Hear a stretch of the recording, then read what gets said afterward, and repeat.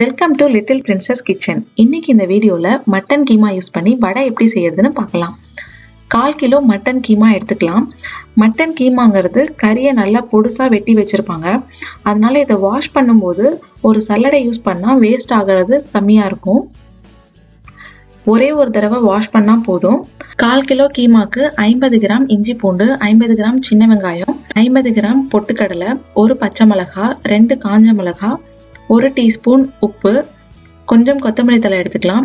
ஒரு டீஸ்பூன் கரம் மசாலா ஒரு டீஸ்பூன் பட்டை கிராம்பு தூள் எடுத்துக்கலாம். பட்டை கிராம்பு இல்லைன்னா ரெண்டு சின்ன பட்டை ரெண்டு கிராம்பு போட்டால் போதும்.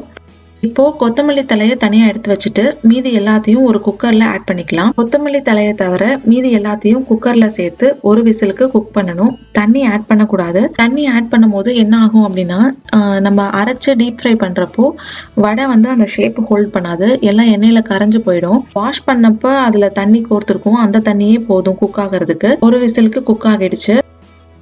நல்லா சூடு ஆறுனதுக்கப்புறம் மிக்சியில் ஆட் பண்ணி நல்லா அரைச்சிக்கலாம். அரைச்சதுக்கு அப்புறம் பொடுசா கொத்தமல்லி தலையை ஆட் பண்ணி நல்லா மிக்ஸ் பண்ணி விட்டுக்கலாம்.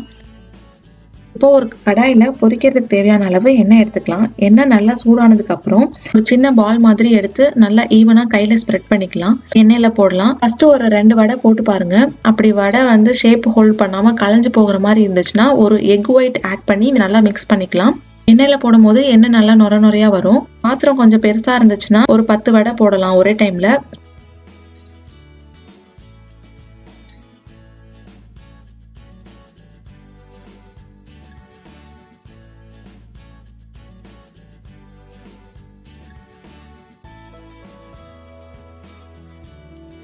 கொஞ்ச நேரம் ஃப்ரை ஆனதுக்கப்புறம் எண்ணெய் கொஞ்சம் செட்டில் ஆகும். அந்த ஸ்டேஜில் கரண்டி விட்டு லைட்டாக திருப்பி விடலாம்.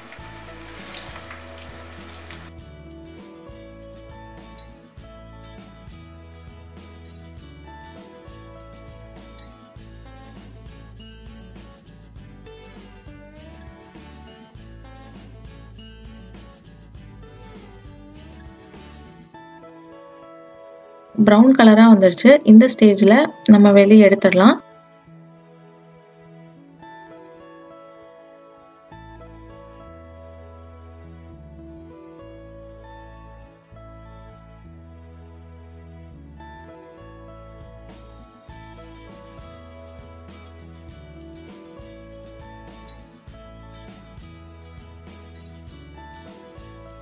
எண்ணெயை வடிக்கிறதுக்கு ஒரு சின்ன ஸ்பூனில் வச்சு லைட்டாக ப்ரெஸ் பண்ணி விட்டிங்கன்னா எக்ஸஸாக இருக்க எண்ணெயெல்லாம் வெந்துடும்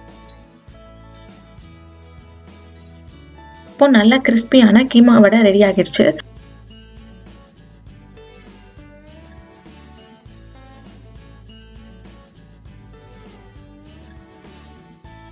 நீங்களும் இந்த ரெசிபியை ட்ரை பண்ணி பாருங்கள் உங்கள் ஃபீட்பேக்ஸை கமெண்ட்டில் சொல்லுங்கள் தேங்க்யூ